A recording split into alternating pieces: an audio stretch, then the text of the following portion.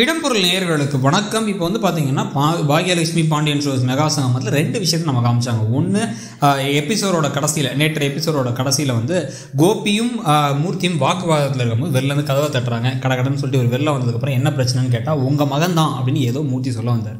அதுக்கப்புறம் என்ன நடந்துச்சுங்கிறத காமிக்கல. ராதிகா வீட்டுக்கு போகிறத காமிச்சிட்டாங்க. அது ரெண்டு ப்ரோமோலும் இருக்குது ராதிகா வீட்டில் போயிட்டு நீங்கள் கல்யாணம் பண்ணிக்க போகிற கோபி நல்லவரில். அவர் ரெண்டு குடும்பத்தையும் ஏமாத்துறாரு.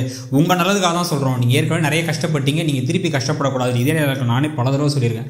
அந்த கஷ்டத்தை வந்து அந்த விஷயத்தை அப்படியே மூர்த்தியும் தனமும் சொன்னதுனால ராதிகா ஒரு குழப்பத்தை இருக்காங்க. ஓகே. இப்போ பாக்கியாவுக்கும் வந்து தனம் கொடுத்த அட்வைஸ்லாம் வச்சு பாக்கியா லைட்டாக யோசிச்சு ஏதோ ஒரு தப்பு இருக்குது இவரை பற்றி தான் ஏதோ தப்பு இருக்குது அதனால தான் எல்லாரும் பேசியிருக்காங்க. அவர் அவ்வளோ எதிர்த்து பேசி நான் என்ன வேணாலும் பண்ணுவேன். ஏன் இஷ்டம் அப்படின்லாம் கத்துனாரு.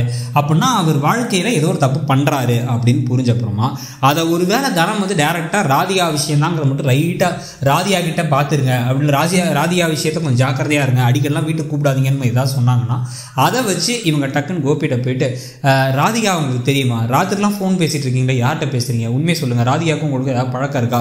அப்படின்னு கேட்டாலோ இல்லை அட்லீஸ்ட் ராதிகாவோட ஃபோட்டோவை காமிச்சிங்கன்னா என் ஃப்ரெண்ட் ராதிகா இவங்களை முன்னாடி பார்த்துருக்கீங்களா இல்லையா? உண்மையை சொல்லுங்கள் அப்படின்னு கேட்டாலோ நல்லாயிருக்கும். இல்லை ராதிகாட்ட போயிட்டு கூட வந்து இதான் என் ஹஸ்பண்ட் கோபின்னு சொன்னாலுமே நல்லாயிருக்கும். ரெண்டில் ஏதாச்சும் ஒன்று நடக்கிறதுக்கான வாய்ப்பு இருக்குன்னு நினைக்கிறீங்களா? இல்லை இந்த கதையை இழுக்கணும் அப்படிங்கிறதுக்காகவே இது எதையுமே ஒன்றுமே முன்னேற விடாமல் அடுத்து வேறு ஏதாவது ஒரு பிரச்சனையை கொண்டு வந்து ஆளாளுக்கு பிஸியாக்கி விட்டுருவாங்க அப்படின்னு உங்களுக்கும் தோணுதாங்கிறத சொல்லுங்கள் தேங்க்யூ இடம்பொருள்